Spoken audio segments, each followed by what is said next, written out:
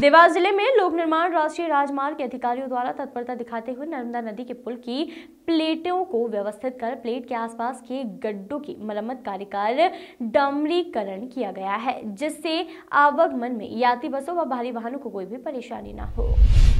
इस संबंध में हमारे संवाददाता को राष्ट्रीय राजमार्ग लोक निर्माण विभाग के इंजीनियर दीपक मीणा ने दूरभाष पर चर्चा के दौरान बताया कि डामर प्लांट के बाद पड़े रहने के कारण मरम्मत कार्य में देरी हुई। उन्होंने कहा कि नब्बे नदी पुल पर मार के गड्ढों को भरने में अब देर नहीं होगी। इस कार्य को प्राथमिकता के साथ पूरा कर दिया गया है। उन्होंने बताया कि निर्मल पुलिस थाने के पास से नागदा पुल तक का डामरीकरण का कार्य पूर्ण हो चुका है। नर्मदा नदी के पुल के माध्यम से लोहे की प्लेट के आसपास गड्ढों का डामरीकरण का कार्य भी कर दिया गया है। वॉइस ऑफ़ राइट्स के लिए हंडिया से बलवीर सिंह खत्री की रिपोर्ट।